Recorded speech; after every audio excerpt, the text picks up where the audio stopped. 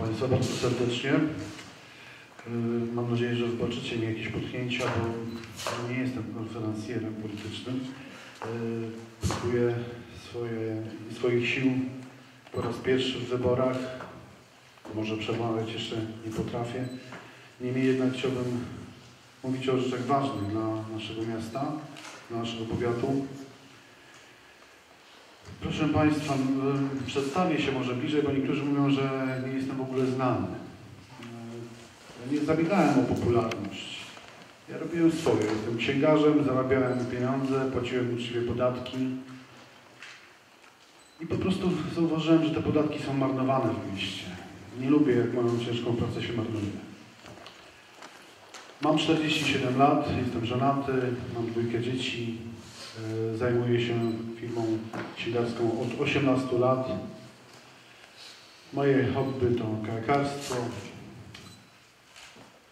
lubię e, dobrą muzykę, chodzenie po górach, ale tak naprawdę najbardziej interesuje mnie moje miasto w tej chwili i to, co się w nim dzieje. Niektórzy z Was e, mieli okazję mnie poznać, zajmowałem się spalarnią śmieci. Widzę Krzyszka Misiewicza pomagał mi w tej sprawie. E, proszę Państwa, wtedy nagle spadła na nas e, wiadomość, że jest rozprawa administracyjna za kilka dni i może się przesądzić sprawa tego, czy będzie nam kopciło coś pod, pod miastem, czy nie. Zebraliśmy się bardzo szybko, zorganizowaliśmy się, zbieraliśmy podpisy. Ja byłem autorem e, uwag i wniosków do raportu środowiskowego tej inwestycji. E, no i o, ważna sprawa jeszcze, Marek przecież e, jako radny wniósł projekt stanowiska Rady, aby Rada sprzeciwiła się budowie tej spalarni radni, e, którzy zawsze działali jak maszynka wyborcza obecnego burmistrza, jednak musieli podnieść rękę przeciwko tej spalarni. No nie mieli innego wyjścia. Ale to była zasługa Marka Kiełbińskiego, ale również nasza. Tych ludzi, którzy zbierali podpisy. Bo on wiedział, że stoi za nim już 1500 podpisów zebranych tylko w dwa tygodnie. Ja chciałbym Odniosę się do fragmentu. Ja, jeżeli będę mówił za długo i będę zanudzał, to udawajcie, że ziewacie, dobrze? To ja wiedział o co chodzi. Będę się wtedy streszczał. Ale jeden cytat. Produkowane ciepło będzie dostarczane do sieci ciepłowniczej PEC w Mławie, co pozwoli na zmniejszenie negatywnego oddziaływania istniejącej kotłowi węglowej na skutek redukcji ilości spalanego węgla kamiennego oraz emisji z niskosprawnych indywidualnych kotłów grzewczych zainstalowanych w budynkach mieszkalnych. Jakim cudem? Proszę Państwa, większość Mławy to domki jednorodzinne niepodłączone do sieci PEC-u. W jaki sposób ta spalarnia odłączyłaby te piece domowe yy, od działania? Ja nie rozumiem tego. Yy, nie rozumiem też jak bez umowy, bo nie ma żadnej umowy z PEC-em o podłączenie do instalacji. Następnie w pobliżu lokalizacji w chwili obecnej nie przebiega sieć ciepłownicza, jednak, że jej budowa jest w planach przedsiębiorstwa energii cieplnej w Mławie. Istniejąca sieć przebiega w odległości 600 metrów. W planach przedsiębiorstwa energii cieplnej nie było pociągnięcia nitki do e, ulicy e, Płockiej, bo tam nie ma żadnych domów. Po co mieliby tam ciągnąć jakąś sieć? Bzdury. Jeszcze jeden cytat, króciutko. Przedsiębiorstwo energetyki cieplnej planuje jednak rozbudowę istniejącej sieci niezależnie od rozpatrywanego przedsięwzięcia. Zgodnie z informacjami pozyskanymi przez inwestora w Urzędzie Miasta na obszarze, na którym zlokalizowany jest wariant, zlokalizowany jest wariant pierwszy, przewiduje się rozbudowę sieci energoenergetycznej. Energetycznej. Proszę Państwa, jak to? Skąd Uską wiedział, że od Urzędu Miasta? PEC nie ma w planach prowadzenia tam sieci przesyłowej. Miasto mówi, że ma. nasuwa się tyle wątpliwości. Dodatkowo jeszcze kwestia wydzierżawienia działek pod y, budowę spalarni na 3 lata. Wydzierżawienia, bo wydzierżawić może sam burmistrz, bez zgody rady. Jak inwestor, który chce budować inwestycje za ponad 200 milionów złotych, postawi coś na dzierżawionym gruncie? Czy któryś z Państwa, jeżeli prowadzicie nawet mały interes, postawilibyście duży interes na nie swoim gruncie? No ja nie. Ja mam nie, nieduży interes, ale ja bym nie zainwestował 200 milionów na nie swoim gruncie, chyba że jestem pewny, że ten grunt prze, przejmę kiedyś. Rodzi się mnóstwo wątpliwości co do, yy, co do tej inwestycji i roli Sławomira Kowalewskiego w tej inwestycji. Jest, moim zdaniem jest to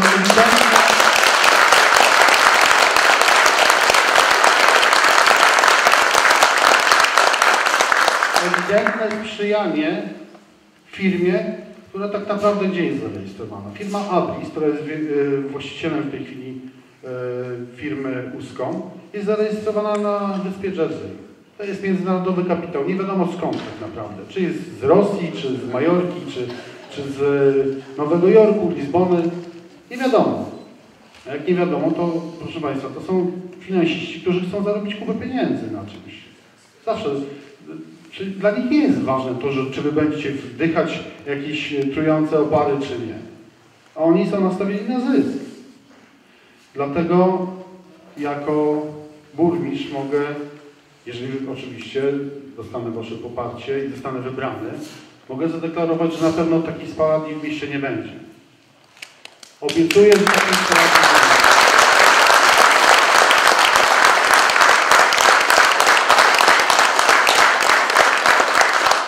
Nie jest prawdą, że taka spalarnia też obniżyłaby nam cenę ciepła.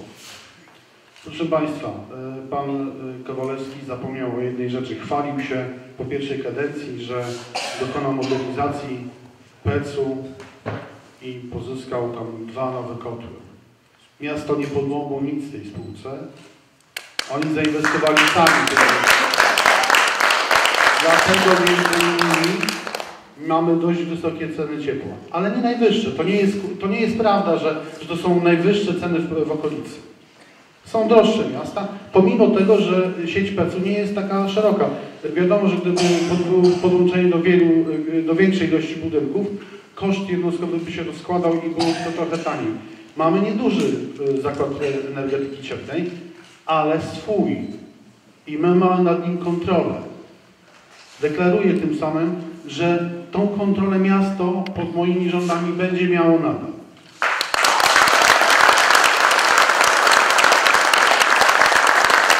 Tak samo nie dopuszczę do prywatyzacji y, kolejnej ważnej naszej spółki miejskiej, jaką jest Wodka.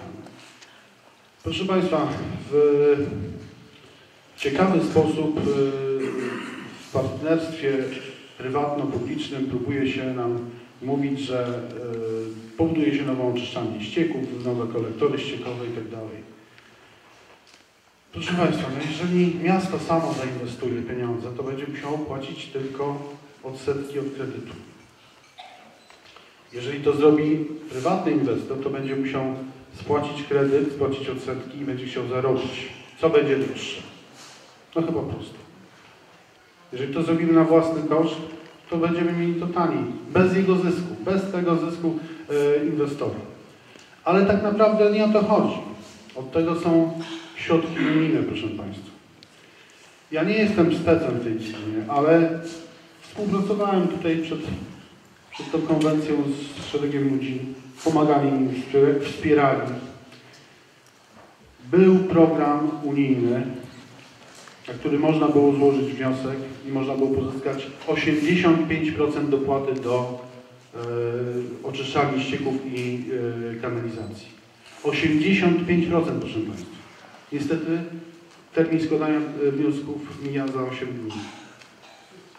Może Pan Sławomir Kowalewski się wyrobi, nie wiem. Ale nie mówił nic o tak wspaniałych planach, za to otworzy nam razem z, z Panem Starostą Wojnarowskim 13 o 13 rondo.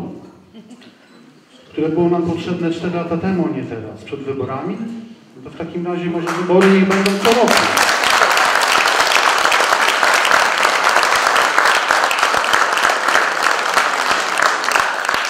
Może po prostu niech będą wybory co roku. To wtedy będziemy, będą działać szybciej, będziemy mieć więcej tych inwestycji.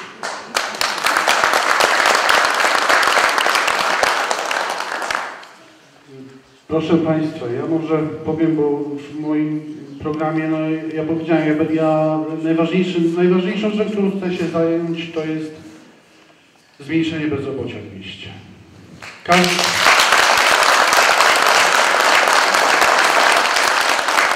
każdy z Was na pewno ma w rodzinie kogoś albo wśród znajomych, kto musiał za chlebem wyjechać z tego miasta, a czasami nawet z Polski.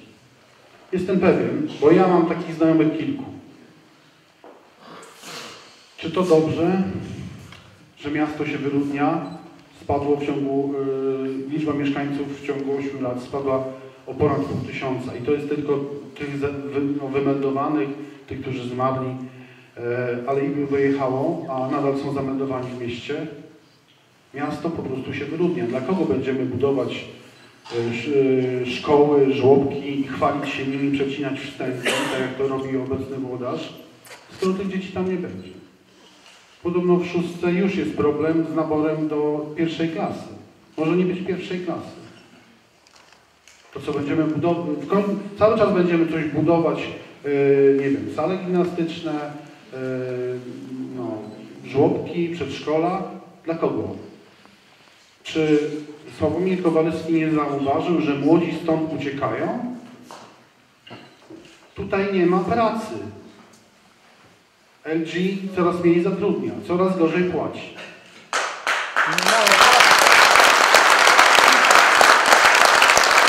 Nie, następuje dywersyfikacja zatrudnienia, czyli ludzie nie, nie mogą y, znaleźć tej pracy gdzie indziej.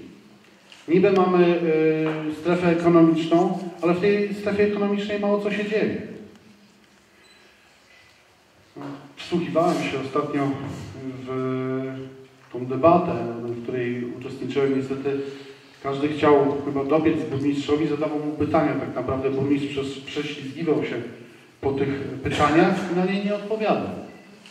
Lansując siebie tylko i mówiąc, czego to jest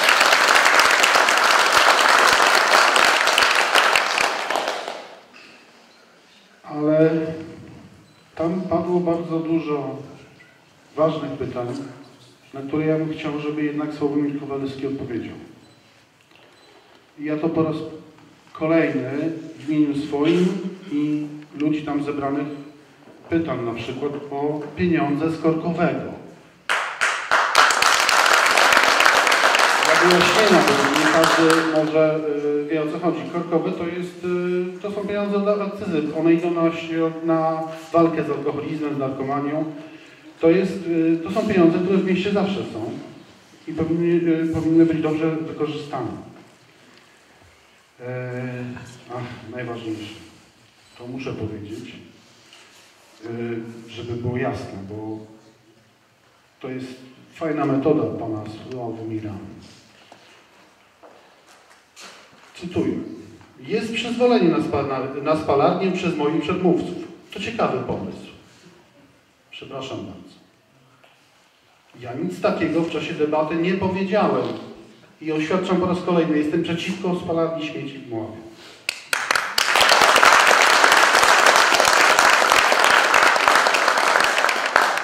Nie ma z mojej strony żadnego przyzwolenia na spalarnię. PEC ma nowe kotły, będzie nas grzał przez cały rok. Ta inwestycja, która miała tam powstać, musiałaby być remontowana e, przez jeden miesiąc w roku, e, a dostawy ciepła i ciepłej wody nam są potrzebne na okrągło przez e, 12 miesięcy w roku. Proszę Państwa, tam e, była też taka ważna sprawa o podatkach. Kpiną było wielką pana Kowalewskiego e, śmiać się z tej podwyżki, że no proszę Państwa, to podatki 53 grosze wzrosły na 73, cóż to jest 20 groszy? Szkoda, że nie przeliczył tego na centymetr kwadratowy, bo on mówił o metrze kwadratowym. No przy centymetrze kwadratowym to nie byłoby nawet jednego grosza, proszę Państwa. Ale mam nadzieję, że ktoś z Państwa jest tutaj na sali, kto ma e, dom z ogródkiem i wie, ile płaci za e, swo, swoje, swoją posesję. To są czasami pieniądze dość pokaźne. Ja mam garaż na przykład y, i płacę podatek gruntowy, to jest y, y, 150 zł prawie. Tylko za sam garaż. To rocznie ile płacicie? Podatki w mieście wzrosły w ciągu 8 lat o 37%. To jest prawie chyba, jeśli dobrze pamiętam, 1 czwarta budżetu miejskiego. Może, w tej chwili może mylę, bo za dużo tych danych ostatnio, jestem też niedospany, więc, ale to jest pokaźny odsetek naszego, no, naszego budżetu. Pokaźnym odsetkiem naszego budżetu są również y, podatki dochodowe z PIT. Jak powstają te podatki dochodowe z PIT-u? Od każdego z Państwa, którzy y, płacicie y, na koniec roku PIT, od Waszych zapłaconych podatków 37,5% zostaje w mieście. Więc czym więcej ktoś zostawia podatku, tym więcej dajemy do miasta. To ja pytam, dlaczego nie docenia się tych, którzy zostawiają najwięcej? Tych, którzy mają małe firmy, którzy rozliczają się nie poprzez PIT, tylko właśnie poprzez PIT.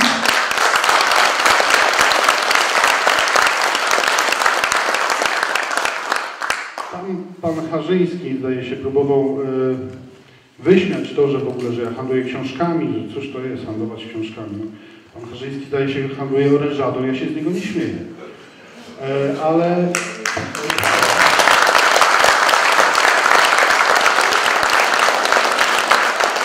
Ale powiedział też, że płaci, y, płaci podatku 100 milionów miesięcznie. Ja się bardzo cieszę. Y, przepraszam, 100 tysięcy miesięcznie. E, to ja się bardzo cieszę, znaczy, że zarabia ponad milion miesięcznie, czyli dużo płaci podatku. Mam nadzieję, że w takim razie zainwestuje w jakąś dużą fabrykę orężatów w Młowie.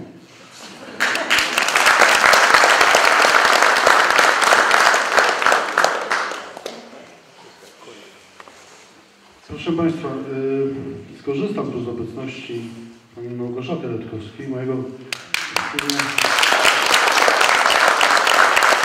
kandydata, ale zwróciła uwagę na jedną bardzo ważną rzecz na, na tej deba debacie, która się odbyła. Zapytałam pana Kowalewskiego i w ogóle nie odpowiedział na to pytanie. Zresztą jak, jak wspomniałem wcześniej, na wiele pytań nie odpowiedział. Prześliznął się po wszystkim, chwaląc się tylko ile wybudował e, przedszkoli, ile chodnika, ulicy i tak.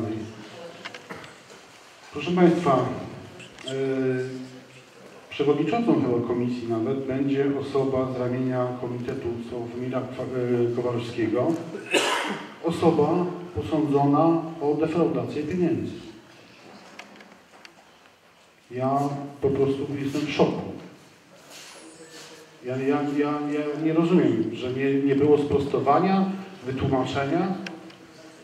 Ta osoba była kiedyś zwolniona z pracy za defraudację. Po raz drugi była zwolniona z pracy za defraudację i teraz jest yy, przewodniczącą, ale nawet nie była przewodniczącą, jakby tylko zasiadała w komisji.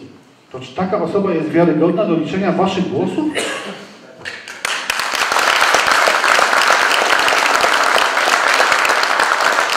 Ja sobie nie życzę, żeby ktoś taki liczył głosy wyborców.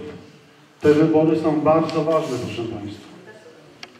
Dosyć już yy,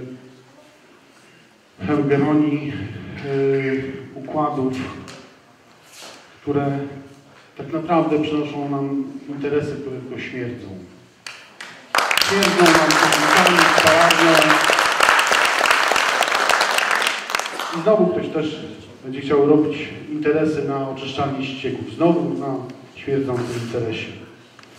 Proszę Państwa, spółki miejskie muszą zostać pod kontrolą miasta, bo Wy będziecie mieli nad nimi kontrolę. Jeżeli wybierzecie mnie na burmistrza, deklaruję, że te spółki zostaną pod kontrolą miasta.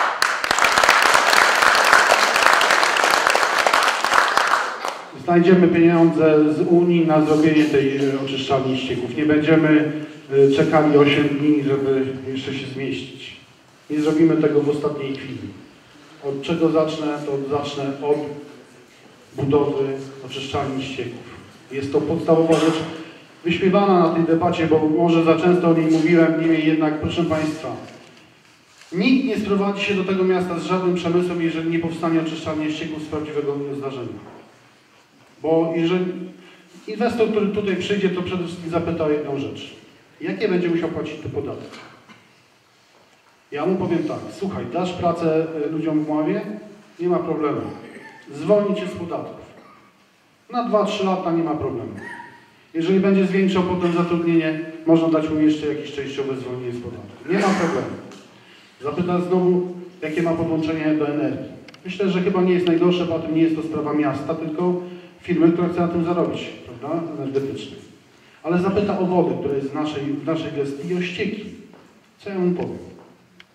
Że mamy przestarzałą, niewydolną oczyszczalnię ścieków? Muszę zacząć od budowy oczyszczalni ścieków.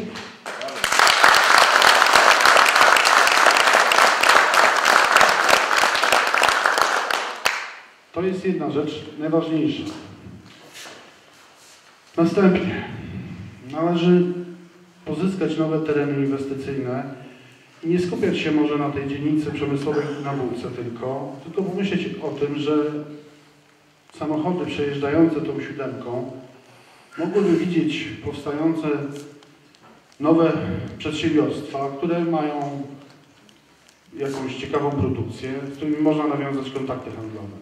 Dlatego też proponowałem w swoim programie, który znajduje się w tygodniku Gazeta Morska, powołanie stowarzyszeń, związków kupieckich i spółdzielni.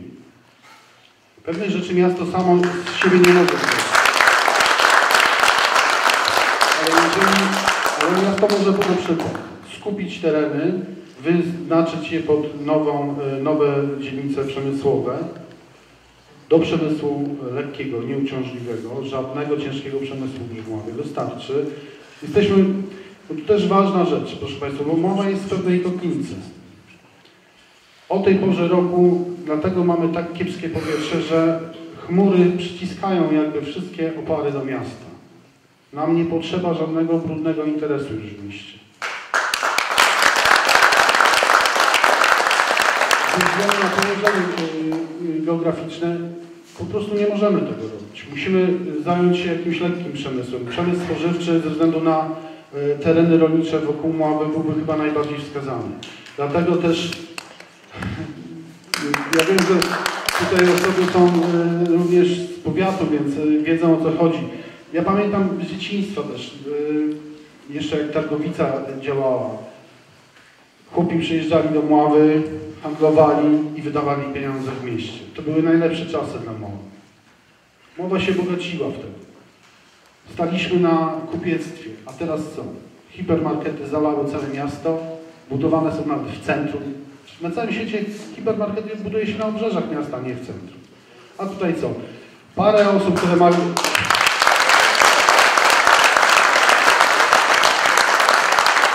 Parę osób które ma e, tereny pod tymi marketami zarabia, ok. Ale co zresztą e, mowskich kupców? Ja chodziłem, roznosiłem swoje plakaty, rozmawiałem. Ludzie mi się skarżyli, że mają obroty po 10 zł, po 5 zł czasami dziennie, czasem autentycznie. Już nie powiem kto, ale skarży mi się, że, że dzisiaj utargował 5 zł. Jak ten handel ma potem płacić podatki w mieście? Został wyrżnięty po prostu. Jeszcze te strefy parkowania, no, które tak naprawdę nic nie załatwiają dla miasta. No, proszę Państwa, no, oddaliśmy je w, w cudze ręce to, to jest raz, a mogliśmy to zrobić na przykład w taki sposób, że emeryci czy renciści mogli stać tam z bilecikami, przy okazji przypilnowaliby samochodu, a wszystkie te pieniądze trafiały do miasta. A nie do firmy zewnętrznej. Po co, po co nam firma zewnętrzna, która bierze z tego pieniądze? Zostawałyby bezpośrednio w mieście, a jeszcze kilka osób miałoby pracę. Ale to już pomijam, no chociaż to naprawdę y, kupców mławskich to boli. Kolejna sprawa, y, dworzec zintegrowany. Proszę Państwa, Tu bym musiał, musiał się y, za długo gadać, naprawdę. Ale mo- ja to nazywam, to jest dworzec de dezintegracji. Ja rozumiem, że on jest może potrzebny, ale czy znowu z centrum handlowym? Znowu z jakimś hipermarketem? Przecież jest tam na osiedlu Biedronka, którą tak naprawdę Polacy najbardziej chyba lubią, bo tam są polskie produkty. Ale nie wiem.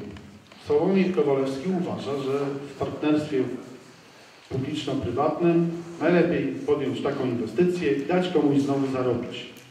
Ja nie wiem, co z tego będzie miało miasto, że wyrżnie centrum, które jest przy rynku. Przecież my wszyscy tam, kupcy, dzierżawimy albo mamy własne lokale w centrum miasta. W centrum miasta. Co mam przenieść teraz centrum na dworze zintegrowany? Nie wiem, czy to potem y, dobrze wpłynie na, na y, mławski handel. Czy ci ludzie będą mieli pieniądze, żeby płacić potem podatki w mieście? A może zlikwidują swoje sklepy i wyciągną rękę do, po zasiłki. Wtedy nie będzie miasto miało ani wpływów do budżetu, a jeszcze będzie musiało płacić zasiłki. Tego chcemy? Proszę Państwa, yy, tak jak już y, zapowiedziałem w artykule w gazecie, każdy przedsiębiorca w mieście, który zwiększy zatrudnienie, będzie mógł ubiegać się w ratuszu o ulgi podatkowe. Jeżeli załóżmy, ktoś zatrudnia 8 osób, a stworzy miejsca pracy o kolejne dwa, to znaczy, że o 20% zwiększyło się jego zatrudnienie, będzie mógł wystąpić do ratusza o 20% ulgę w płaceniu podatku gruntowego. Tyle mogę obiecać. To nie jest może dużo, ale jest to przedsiębiorców. Na pewno nie dopuszczę do tego, powtarzałem to już nieraz na y, sesji Rady Miasta, y, Sławomir Kowalewski śmiał się z tego. Pan nie jest zorientowany. Pan nie wie, że to jest droga powiatowa. Panie Sławomirze, nieważne jaka to jest droga, ważne, że tam są przedsiębiorcy, którzy płacą tutaj w mieście podatki. To co, na ulicę Padlewskiego nie ma żadnego parkingu przed y, warsztatami samochodowymi, komisami, przed ślusarzem, który tam jest? Czy ci ludzie nie zasługują na to, żeby im wybudować kawałek parkingu zamiast tego lichego trawnika?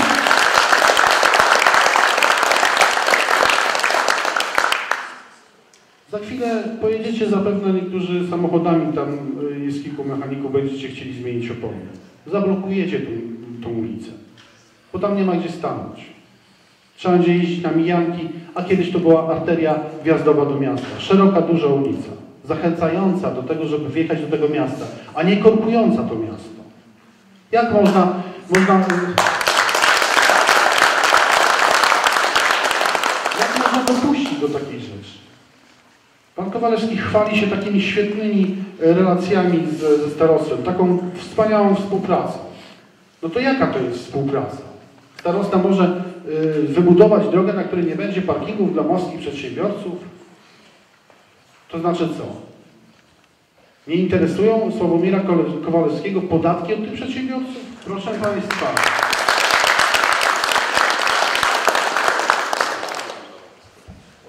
Jak już wspomniałem, y, spółdzielnie i związki kupieckie. Ja naprawdę bardzo bym chciał, żeby, jeśli oczywiście dacie mi, y, obdarzycie mnie swoim zaufaniem wybierzecie mnie na burmistrza miasta, chciałbym, żeby w Mławie powstały znowu jakieś silne związki kupieckie. Ja to widzę w ten sposób, że lokale, bo ja wspomniałem w swoim programie głównie o giełdzie rolnej i centrum hurtowo-handlowym. Coś na kształt takiej, takiej e, dużej giełdy, która zrównoważyłaby hipermarkety. Można by było tam przyjechać, kupić u kupca po równie dobrych cenach, co w markecie. E, Korzystaliby również e, ludzie przejeżdżający siódemką przez, przez e, okolice Mławy, a pieniądze zostawialiby w mieście. Można by to było połączyć z giełdą rolną, coś na kształt powiedzmy broniszy. No. To wszystko oczywiście nie leży w gestii burmistrza i to nie ja jestem od tego, żeby takie rzeczy tworzyć. Ja mam stworzyć wizję dla miasta.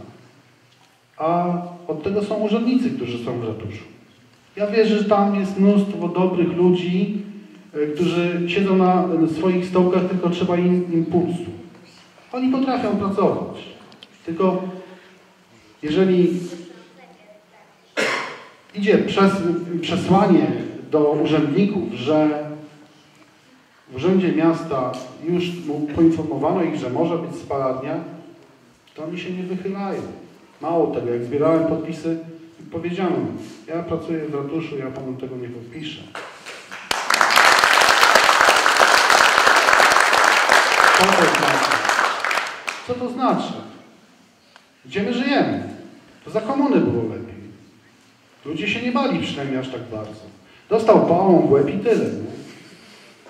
Ale potrafił powiedzieć swoje zdanie. A teraz co? Ja rozumiem, że w mieście, w którym jest bezrobocie, dba się przede wszystkim o pracę. Nie ma się co im dziwić. Ale wierzę, że jeżeli byłby burmistrz, który ma wizję i y, zachęca ich do dobrej roboty, do planu jakiegoś, który pobudzi y, miasto, to oni na pewno będą dobrze pracować. Ja w to wierzę. Ja myślę, że się na nich nie zawiodę. Proszę Państwa.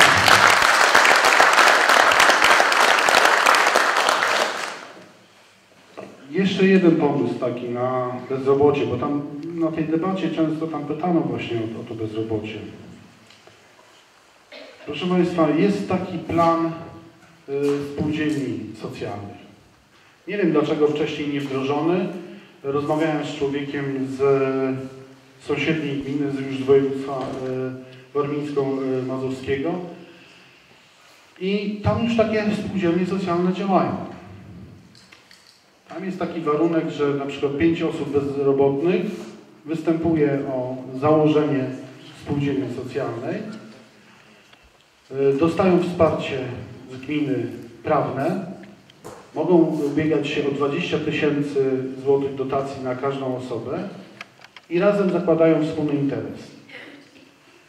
Mało tego, mogą dostać też wsparcie na pokrycie y, comiesięcznych rat za, y, na, na, ten, na opłaty, na ZUS, na księgowość, podatki itd. To jest bardzo ciekawy pomysł. U nas w ogóle nie ruszony. Tak jakby u nas było pracy pod dostatkiem. Mówi nam się o etatach pracy, na których no, ktoś tam znajduje pracę, ale czy, czy, czy to załatwia problem? Proszę Państwa, jeżeli chodzi o bezrobocie, Sławomir Kowalewski na tej debacie powiedział 15%. Ja w internecie znalazłem 16,5%. Ale nawet jakby to było 14,5%, to też jest za dużo. Tylko i wyłącznie bezrobocie poniżej 10% spowoduje, że pracę w mieście będzie się szanowało, pracownika się będzie szanowało, a tym najlepszym będzie się płaciło dobre pieniądze bo nie będzie chciał ich stracić. Bo jeżeli będą mogli pójść gdzie indziej do roboty, to każdy powie po co. Po raz kolejny kogoś szkolić, yy, uczyć zawodu i tak dalej. Już go nauczyłem, dobrze pracuje, a niech ma tą podwyżkę.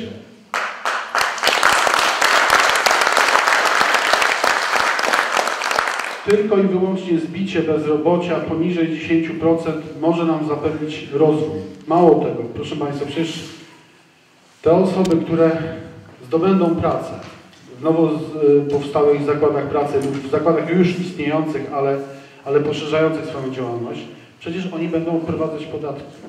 Więc oni zasilą też kasę.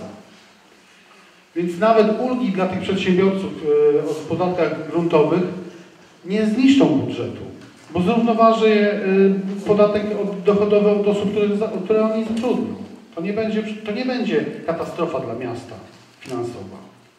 Poza tym można zrezygnować z wielu propagandowych inwestycji, jak chociażby, no proszę Państwa, no, ja, ja nie będę cytował, poczytajcie sobie w internecie, co napisano o, e, to jest, się nazywa chyba park siłowy koło, koło stadionu. Teraz na zimę. Teraz na zimę, proszę Państwa, za 5-12 przed wyborami, chyba po to, żeby tam sportowcom tyłki przymarzły. To jest marnotrawienie pieniędzy, ale to jest, proszę Państwa, przecięcie wstęgi kolejne. Kolejny lansik. A ja nie chcę, proszę Państwa, bo w swoim mieście lansera i, i konferencjera. Ja chcę burmistrza z prawdziwym zdarzeniem.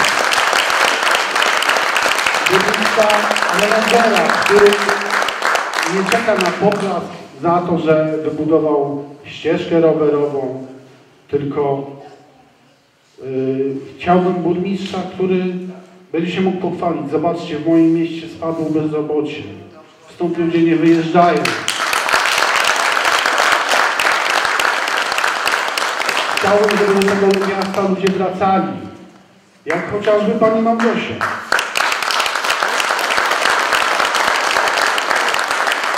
Przecież to człowiek, który na stanowisku dyrektora MDK-u y, był świetną, świetną osobą. Ja nie wiem, dlaczego burmistrz się jej pozwał.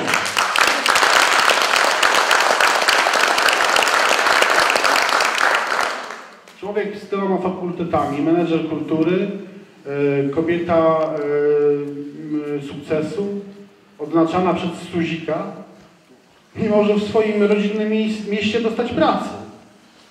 Co ona jest napiętnowana, czy co? To wstyd. To wstyd.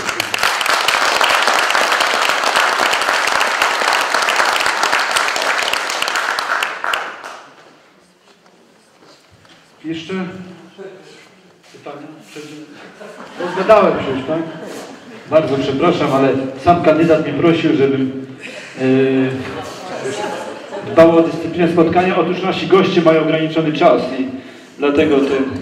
Ale jak widzicie, nasz kandydat kipi pomysłami, jest bardzo chętny do zmian. Proszę Państwa, Mława potrzebuje zmian. Dziękuję bardzo. Ja, ja oczywiście dlatego też gadałem, żeby uprzedzić pewne pytania, bo zadawanie pytań i, i jakieś odpowiedzi to mnóstwo czasu. Ja wiem, że nie wyczerpałem wszystkich. Ja, ja tu mam jeszcze tyle, ja to cały czas zawężałem, zawężałem, a jeszcze i tak nie opowiedziałem połowy tego, co chciałem. Niemniej jednak, może Marek... Tak, proszę Państwa, teraz będzie ta część e, pytań. Ja będę podchodził z mikrofonem. Proszę o pewną dyscyplinę wypowiedzi. I chciałbym skorzystać, że akurat sam mam mikrofon i odnieść się do e, tutaj uwagi pana e, Mariusza Kamińskiego. Mnie to bardzo e, pozytywnie zaskoczyło. Przyszedł pan do nas i pierwsze słowa, które pan powiedział, przepraszam za aferę, o której mówi się w mediach. To jest bardzo piękne. Widać, że trafiliśmy na człowieka zasadami, który wartości stosuje w życiu w praktyce. Bardzo dziękuję za Pana postawę.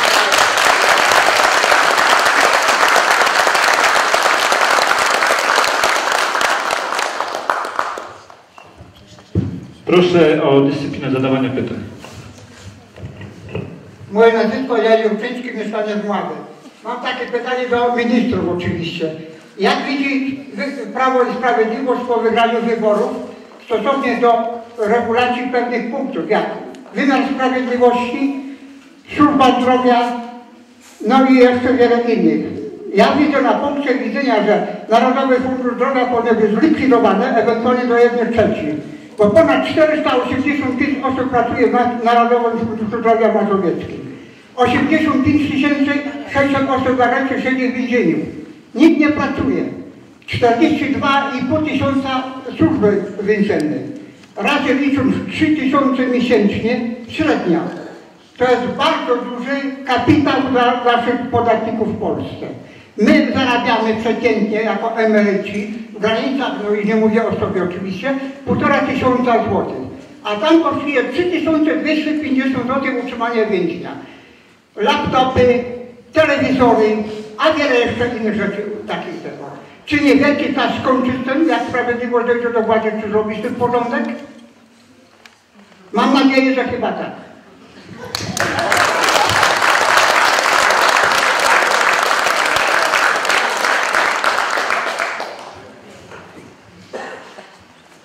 Proszę Państwa, ja zanim udzielę odpowiedzi, to chcę powiedzieć, że jestem pod ogromnym wrażeniem wystąpienia naszego kandydata na burmistrza.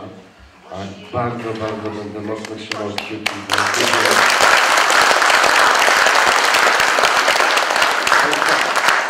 państwu potrzeba właśnie takich ludzi. To jest świetna wizytówka Prawa i Sprawiedliwości. Takich ludzi chcielibyśmy, żeby pełnili funkcje publiczne. Który jest skromny i spokojny, tak? Który ma program, wie po co idzie, skromność, pasja, zdecydowanie, zdeterminowanie, odwaga. E, I, i przemyślane sprawy. To jest świetne, naprawdę. Jestem pod ogromnym wrażeniem. Bardzo się cieszę, że mogę dzisiaj tutaj być z Państwem, z Panem e, e, i powiedzieć, że, że naprawdę wielka sprawa i, i ogromnie trzymamy kciuki wszyscy za. Proszę Państwa, jeżeli chodzi o pytania Pana, e, sprawa służby zdrowia i sprawa wymiaru sprawiedliwości. Em, Sprawa wymiaru sprawiedliwości, czyli sądownictwo, to jest ogromne wyzwanie. E, Musimy pamiętać o tym takim klasycznym trójpodziale władzy, prawda? Władza ustawodawcza, wykonawcza, sądownicza. I y, musimy tych zasad przestrzegać. Natomiast proszę Państwa, w Polsce sytuacja w wymiarze sprawiedliwości jest zła. Wszyscy widzimy, że zapadają niesprawiedliwe wyroki. Wszyscy widzimy, że korporacja sędziowska jest poza jakąkolwiek kontrolą i krytyką społeczną. Tak nie może być. Wymiar sprawiedliwości jest utrzymywany z państwa podatków.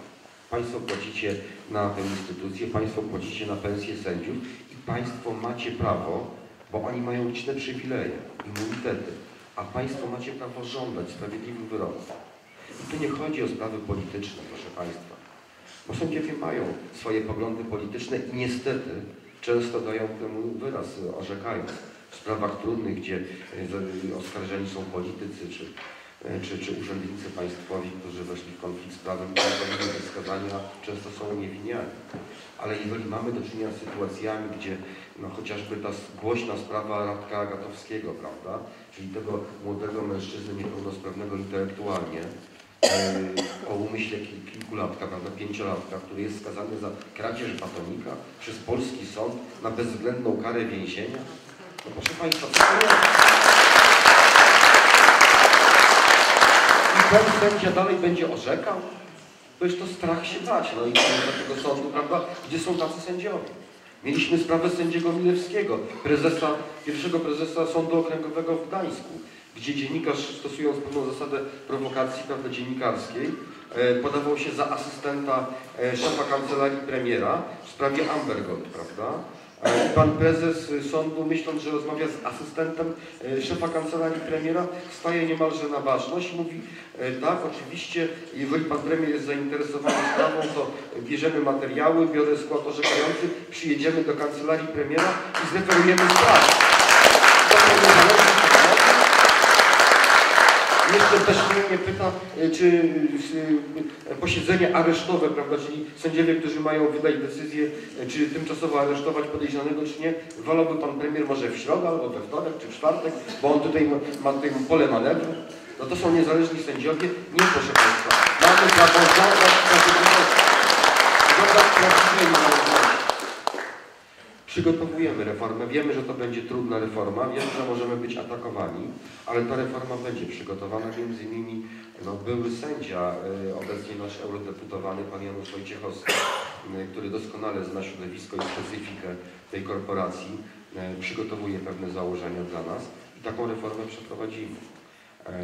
Proszę Państwa, ona będzie zakładała po pierwsze zwiększenie mądre zwiększenie odpowiedzialne, żeby nie złamać zasad, prawda? Ale zwiększenie jednak kompetencji ministra sprawiedliwości wobec y, sądownictwa, możliwość jego ingerencji w sprawach naprawdę bulwersujących.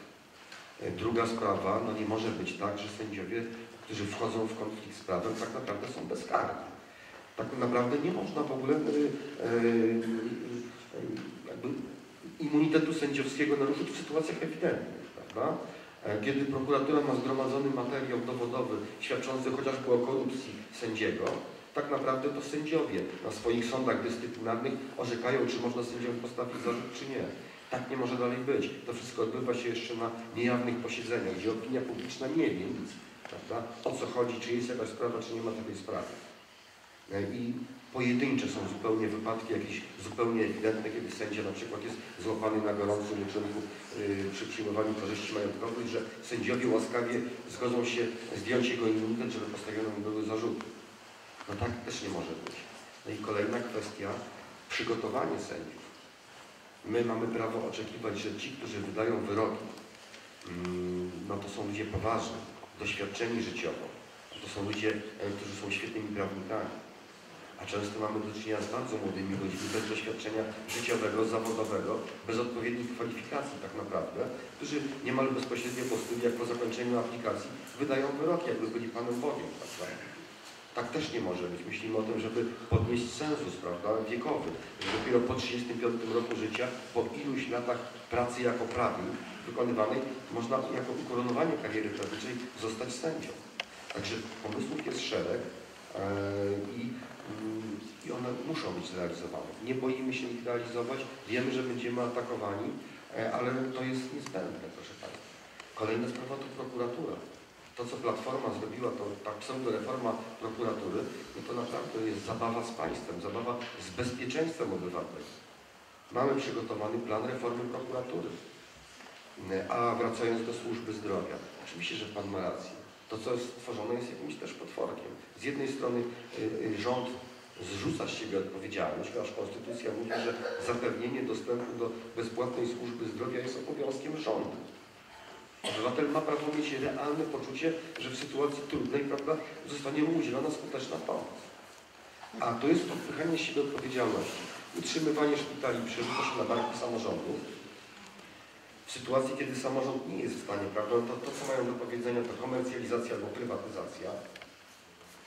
E, A z drugiej strony stworzono NFZ, anonimową, wszechpotężną instytucję z ogromnymi środkami pochodzącymi z naszych e, budżetowych pieniędzy, z państwa podatków, gdzie anonimowi urzędnicy podejmują decyzję, że ten szpital dostanie tyle, ten dostanie tyle, prywatny szty- szpital dostanie takie kontrakty, a ten takie kontrakty.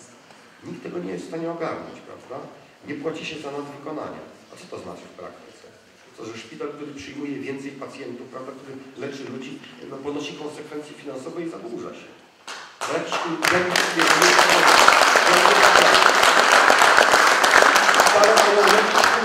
Publiczna służba zdrowia ma leczyć ludzi. Ludzi niezależnie od zamożności ich portfeli, prawda? My nie mamy nic przeciwko prywatnej służbie zdrowia. Jeśli kogoś stać na to, żeby stworzyć nowoczesną placówkę za własne pieniądze i będzie miał pacjentów, yy, odpowiednich klientów, to jak najbardziej. Niech sobie funkcjonuje i działa, ale nie kosztem yy, publicznej służby zdrowia.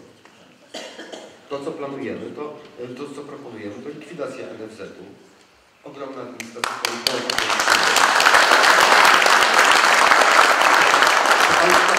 przywrócenie finansowania z budżetu. W gestii wojewody będzie odpowiedni budżet. Wojewoda wie, prawda? To jest obowiązek rządu. Wojewoda jest przedstawicielem rządu w terenie. Wie, ile jest placówek służby zdrowia, ile tam pracuje lekarzy, pielęgniarek, ile potrzebna na pensję, prawda? E, e, I będzie to proste e, finansowanie bezpośrednio z budżetu i odpowiedzialność rządu. Także takie są nasze pomysły na reformy w tych zadawania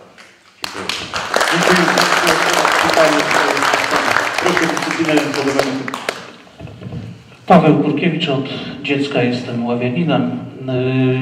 Panie Jankowski, Panie Piotrze, Panie Marcinie, przepraszam.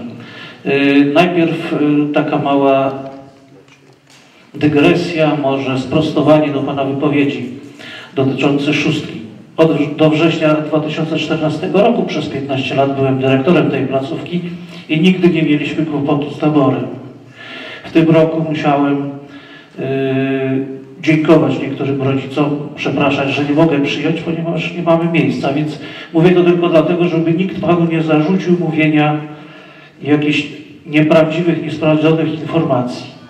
Może, zła może ktoś Pana źle poinformował, ale nie chciałbym, żeby Pan przez tą wypowiedź miał kłopoty. Tylko taka mała, yy, małe sprostowanie do tego, co Pan powiedział. Może chodzi o inną szkołę, ale Pan wie, że nie chodzi o szóstkę.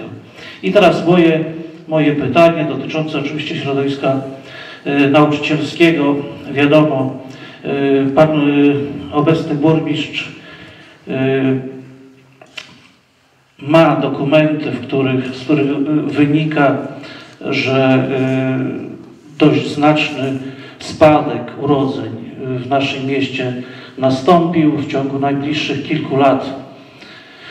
Ubędzie wiele etatów, nauczyciele mogą stracić pracę jak Pan może nam pomóc w tej sprawie? Czy Pan może nam obiecać, że y, liczba etatów nie spadnie, że nauczyciele nie będą zwalniani ze szkół, bo tego się boimy bardzo. Dziękuję bardzo.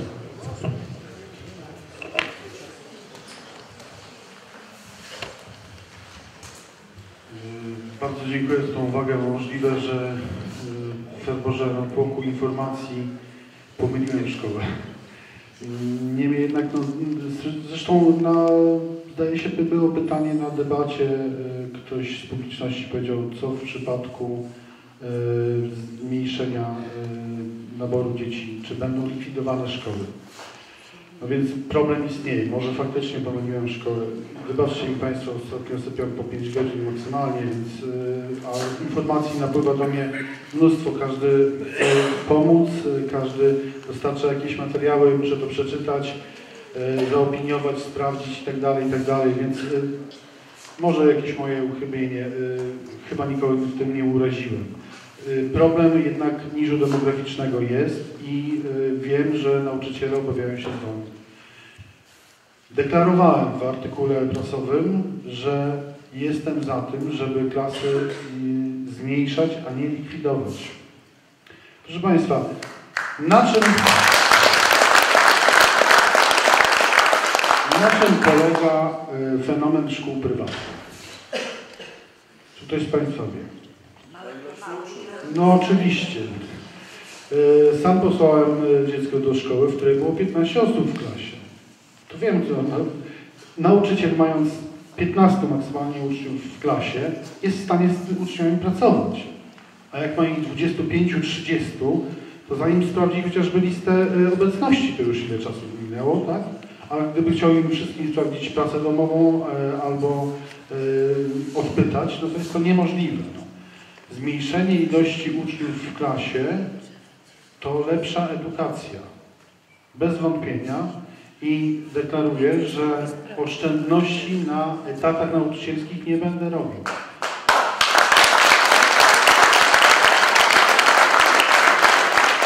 Prawo i Sprawiedliwość deklaruje zwiększenie subwencji oświatowej, więc jeżeli wszyscy zagłosujemy wreszcie na Prawo i Sprawiedliwość i dacie nam możliwość pokazania na co nas stać, a jak... dziękuję Panu Prezesowi za, za y, pochwałę mojej osoby skromnej. Y, tak, ja czuję w sobie energię, że mogę działać i takich ludzi w, y, w Prawie i Sprawiedliwości jest pewno dużo. Możemy, możemy ten kraj zmienić. Możemy nie patrzeć tylko poprzez pryzmat korzyści, e, posadek i tak dalej, i tak dalej. Wiemy, że dla kraju trzeba pracować. I na pewno, tak jak powiedziałem, mniejsze klasy, lepsza edukacja. Proszę Państwa, wiele e, osób, e, ja nie pochodzę z bogatej rodziny. Moim, e, moim największym atutem była edukacja. Ja się zawsze uczyłem. Byłem, i skromnie powiem, chyba dobrym uczniem. Yy, skończyłem studia i dzięki temu, że miałem jakąś wiedzę, a ukierunkowaną, znalazłem też yy, możliwość realizacji. Ale to dała mi wiedza. I jestem jak najbardziej za tym, żeby dzieciom dać ten kapitał. Ten kapitał to jest właśnie wiedza.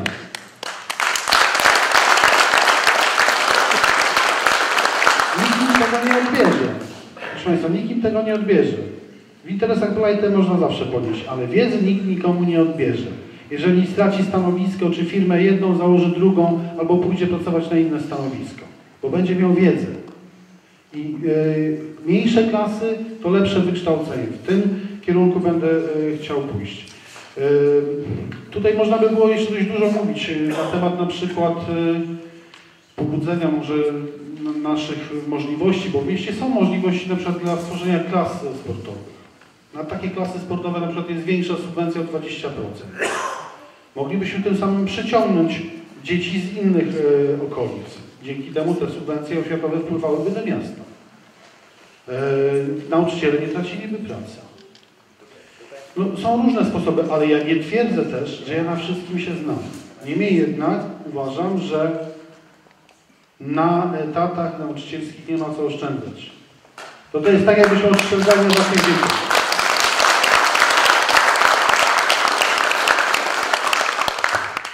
Nie wiem, czy wystarczająco Panu odpowiedziałem, ale y, no, próbowałem przynajmniej. Może następnie. Dziękuję bardzo. Proszę.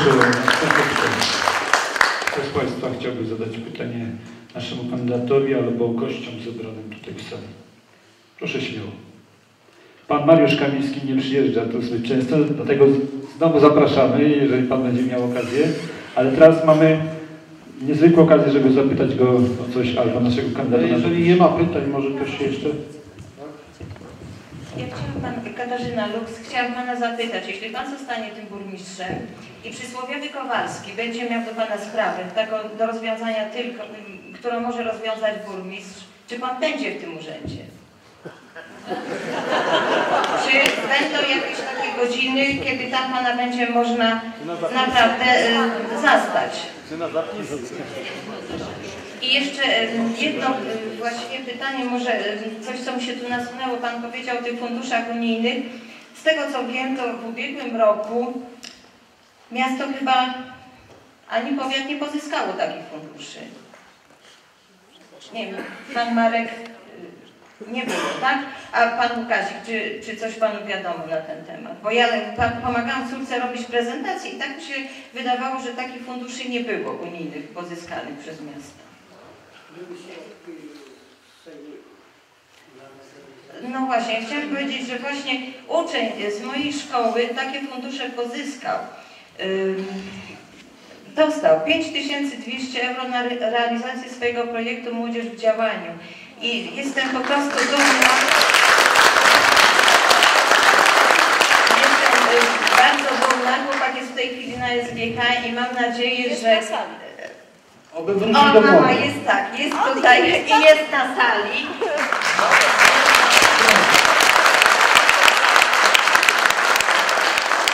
E, Ale chciałabym panu zadać pytanie. To widać, że jednak przyszedł- są ludzie w Mławie, którzy potrafią pozyskiwać Są, są, fundusze. tak, tak jest. Y, Razem żeśmy nawet tam trochę współpracowali później, ale mm, chciałabym Pana zapytać, żeby święty Mikołaj dał Panu, nie za dużo Panu dam, dam Panu 10 tysięcy, na co Pan by te pieniądze przeznaczył?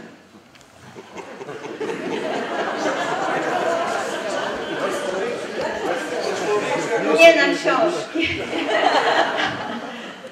Ciężkie pytanie, naprawdę. No właśnie, kiedyś profesor na, na wykładzie ym, zadał to pytanie ym, dyrektorom, nauczycielom, bo jestem nauczycielką i wszyscy, no co, tablice multimedialne, komputery kupimy do szkoły. Nie, właśnie trzeba wysłać na szkolenia, na szkolenia, żeby umieli napisać taki projekt unijny. Takie ym, szkolenie kosztuje 700 zł. Dla nauczyciela jest to naprawdę duża kwota. Dla mnie jest duża, mam dwoje dzieci na studiach i wiem, jakie to jest obciążenie. 700 zł takie szkolenie kosztuje. Wiem, bo koleżanka zapłaciła, ale jeśli nie nauczymy się tego pisać, to możemy sobie pisać, pisać, pisać. Dziękuję.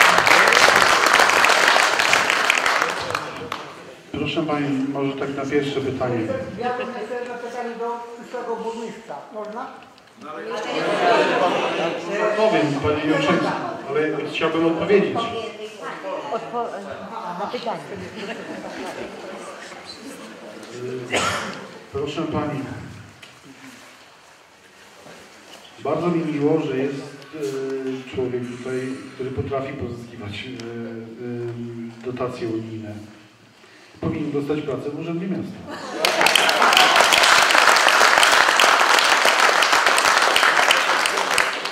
Sławomir Kowalewski twierdzi, e, powtarzając za Panią Wójcikowską, że pieniądze unijne są drogimi pieniędzmi. Nie wiem, co ma na myśli. Ja wiem, że jak dają, to trzeba brać. Proszę Państwa, no na pewno ja, ja na szkolenie nie, nie jeździłbym sam. Nie, nie przeznaczyłbym tych 10 tysięcy na, y, na własne szkolenie, bo ja uważam, że y, nie taka jest rola y, burmistrza. Wysłałbym na to szkolenie ewentualnie pracowników. No właśnie. E, A wracając, pierwsze pytanie było, Pan będzie w urzędzie. czy ja będę w urzędzie. Wie Pani, że ja nawet y, zanim kilka dni temu o tym myślałem, jak to by było? Jak to by było? Weekend i nie popłynę sobie kajakiem. E, Ale myślę, że mógłbym zadeklarować, że przynajmniej raz w miesiącu, w sobotę, e, ja mam księg, obok księgarni takie małe biuro, żebym tam urzędował po to, żeby przyjąć ludzi również nie w godzinach pracy. Bo co mnie bardzo też uderzyło, na przykład taka rzecz, dlaczego sesje Rady Miasta są w godzinach pracy y, obywateli? Przecież jesteśmy w ten sposób wykluczeni z obrad Rady Miasta.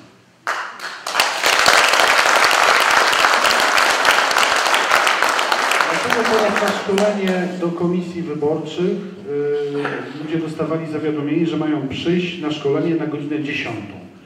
Czyżby oni nie pracowali w tym czasie?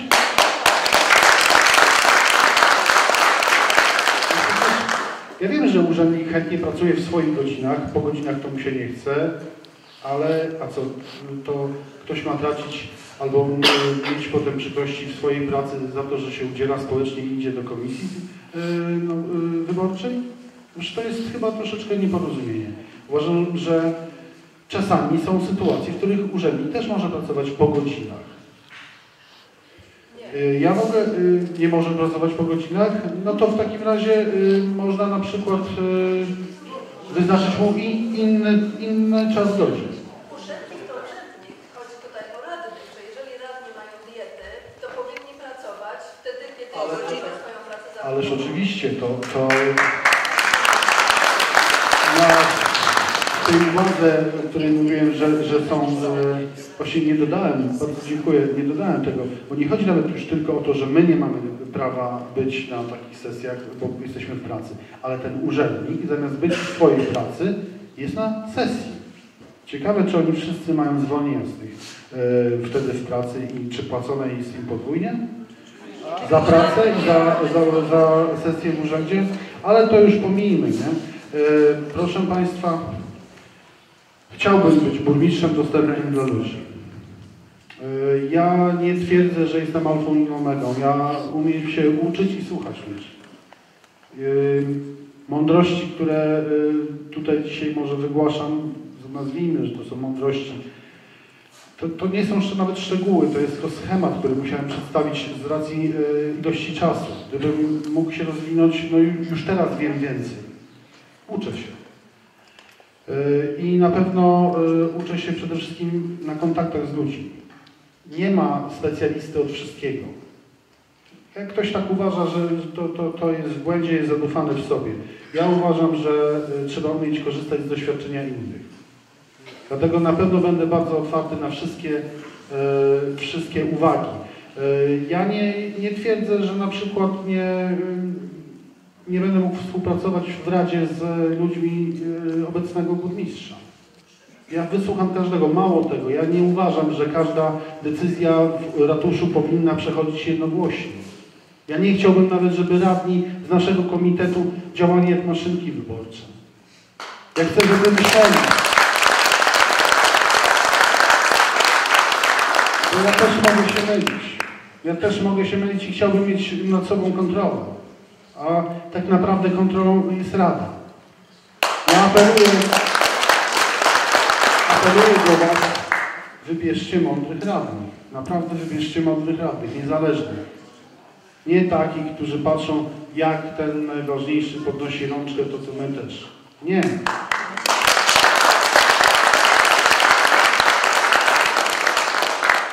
Też y, zastrzegałem to w, w swoim artykule y, w prasie. Odnoszę się do niego cały czas, no bo tu nie chodzi o to, żeby nakład im wzrósł, oni już wydrukowali te 6 tysięcy i więcej nie wydrukują. E, ale no, można poczytać. Zresztą na stronie internetowej też może, na portalu możecie to znaleźć. Apeluję do Was, nie głosujcie na wysoko postawionych urzędników w mieście. Urzędnicy, ci na kierowniczych stanowiskach są od tego, żeby y, wykonywać polecenia Rady, a nie stwarzać przepisy, według których mają działać. To jest nieporozumienie.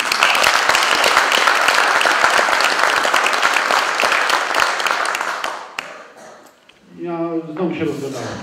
Tak, tak, tak, deklaruje Pani na pewno, że będę dostępny. Jak będzie taka potrzeba, e, to jak powiedziałem, mogę przemyśleć nawet e, taki pomysł, że w jedną sobotę w miesiącu będę siedział w biurze u siebie w księgarni. E, A na pewno będę chciał wysłuchać wszystkich, którzy będą przychodzili do mnie ze swoimi problemami. Nie będę nikogo lekceważył. Tym bardziej, że zostałem zlekceważony kilka razy przez obecnego burmistrza, pana Kowalewskiego i uważam, że jest to duże nieporozumienie, żeby osoba na takim stanowisku mogła lekceważyć poglądy innych. Ja myślę, że to jest pełna odpowiedź. Proszę Państwa, naszych gości, niestety Panie Jurczyński, czas minął, naszych gości miał Pan szansę zadania pytania, to Proszę pytanie. Jako członek zarządu Komitetu Osiedlowego nr 6, czy będzie, jako będzie prezydent burmistrz miasta, z nami wspólnie pracował? Jak do tej pory? Dlaczego nie? Czy zostawimy na marginesie? Panie Jurczyński, ja, y, tak jak powiedziałem, deklaruję współpracę z, ka- ze wszystkimi. Ja nie będę patrzył na to, czy ktoś jest jakiejś innej opcji politycznej. Ja przepraszam bardzo. Ja jestem... Ja y, chciałbym zaapelować. Proszę Państwa, wszyscy kandydaci do Rady Miasta są na pierwszych listach yy, wyborach. Na pierwszych miejscach list. tak, Łatwe głosowanie. Nikt się nie powinien pomylić. białe. Poprzyjcie kandydatów Prawa i Sprawiedliwości w wyborach do Rady Miasta. Na pierwszym miejscu na białych kartkach kandydaci do Rady Miasta PiS Mławie są na pierwszych miejscach. Dokładnie. Proszę Państwa, na pewno będą to radni, którzy będą przeciwko spalarni śmieci i będą przeciwko prywatyzacji yy, wodkami. Dziękuję Państwu bardzo.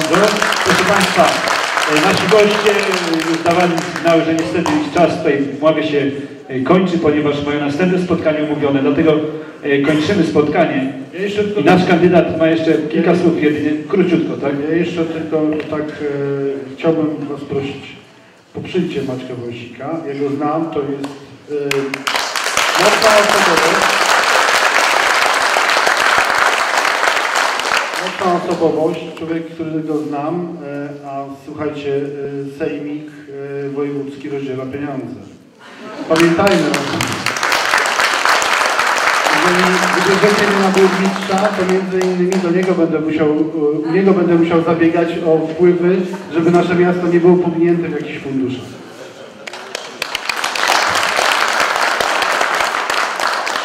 Jeżeli chcecie Państwo mi pomóc jeszcze w wyborach, yy, wychodząc, weźcie kilka ulotek, przekonajcie chociaż kilku niezdecydowanych albo niepewnych, albo tych, którzy nie chodzą na wybory. Oni są najważniejsi. Oni nie chodzą na wybory dlatego, że nie widzą przyszłości. Mają w nosie już politykę, władzę i tak. Dajmy im jeszcze y, nadzieję, że może być inaczej. Że Mława może się zmienić.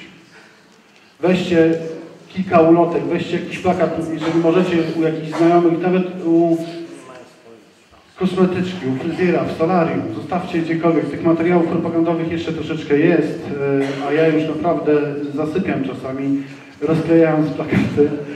E, Pracuję, e, chodzę po domach, spotykam się z wyborcami na ulicy, ale wszystkiego samemu nie da rady zrobić. Jeżeli się zaangażujecie i pomożecie mi trochę, to zwycięstwo jest w naszych rękach. Naprawdę Mława potrzebuje zmian i te zmiany są możliwe. Dziękuję Państwu za przybycie. Proszę się mnie uwagi. Dziękuję. Proszę Państwa, ja może odniosę się do kwestii, bo było pytanie, że y, radni y, wychodzą w ramach